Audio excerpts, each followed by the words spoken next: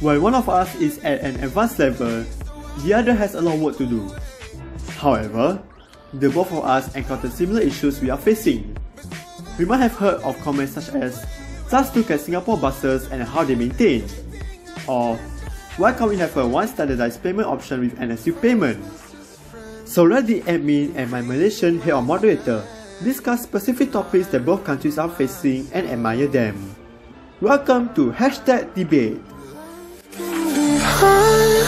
But it's what we do to get to the top. Yeah, yeah, yeah.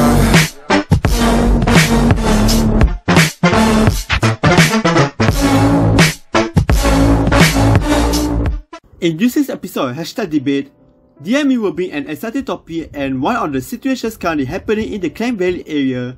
Free a! Woohoo! To some, it's generous. But for what causes that the Transport Authority gives free ride? To others, as the usual Singaporean mindset, the general election is coming? Haha, don't get me started. We used to live in a sentence, there is no such thing as the word free in the world. Agree? Let's head down to today's episode, and don't worry, this episode is FREE! Nearly two weeks ago, the Prime Minister of Malaysia announced the free rides on all rapid KL services, trains and buses, and all KTM lines in the Klang Valley region. At the cost of 155 million ringgit to implement rides throughout the entire month, is also to launch the opening of Putrajaya MRT line phase 1. So you need a minimum of 5 ringgit on your My50, DNG and concession card to enjoy the free rides of Rapid KL and KTM services in the Klang Valley. An additional 1 month of free ride and My50 pass holders that recently reload their monthly concession. Unfortunately, a few days after the free ride launch, many Malaysians were sparked by debate regarding the maintenance culture of the public transport. Buat apa kalau ada perkhidmatan percuma jikalau budaya pelanggaran tidak ada berubah? Unlike in Singapore, the lack of maintenance culture and its services remains in the Klang Valley for a long time.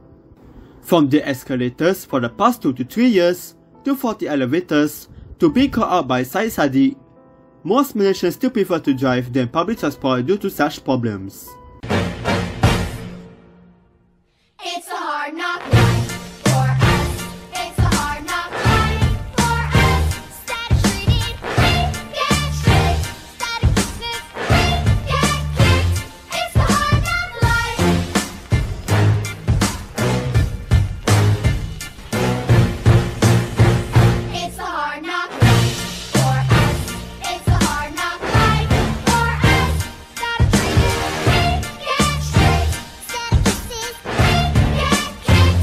Di Malaysia adalah kita suka bina projek berbilion ringgit kasih dekat kroni, projek direct nego tetapi tidak ada maintenance culture. Tengok stadium Terengganu yang roboh. Tengok KTM yang tak habis rosak. Tengok lift-lift dekat MRT. Daripada tunding jari saja, let's together build a strong maintenance culture in Malaysia. Now, back to the free ride. Will it happen in Singapore? The actual purpose of free rides is for citizens to ditch their vehicles and switch to public transport to reduce the traffic. In Singapore, we used to have free rides, such as during the SG50 National Day in 2015, the launch of Downtown Line 2, and free bus service under Bus Service Enhancement Program on the BSEP. Other than that, there isn't free public transport ride in Singapore. Now, how do our fares contribute to the public transport? A simple answer. Some percentage of the public transport revenue will go into the maintenance. One reason that the maintenance culture of public transport in Singapore is influential is the cost of maintaining the facilities of our MRT and LRT stations and bus interchanges. Also, a tremendous success leads the best example involves safety for technicians and mechanic staff, a guideline to follow to keep up with the maintenance schedule. Because Singapore is a very tiny country, that buying a car is now equivalent to my 3-room HDB BTO flat.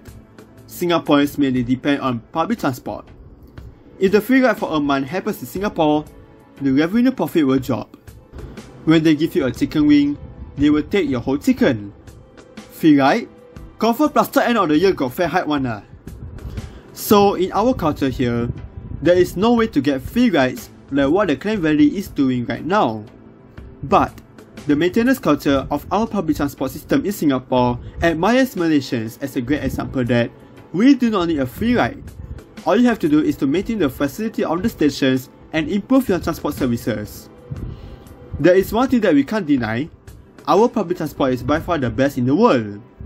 But not until Singaporeans travel outside the country and experience the longer waiting time, but it is a norm for locals. I mean, complaining that we are the best and your public transport suck cock one lah. It's a spoiled brat. Who doesn't deny that? Will we ever have a free public transport ride for a month one day? Or should free rides to occur at least during public holidays? How does it affect the revenue profit if a free ride for a month occurs? Leave your comment down below.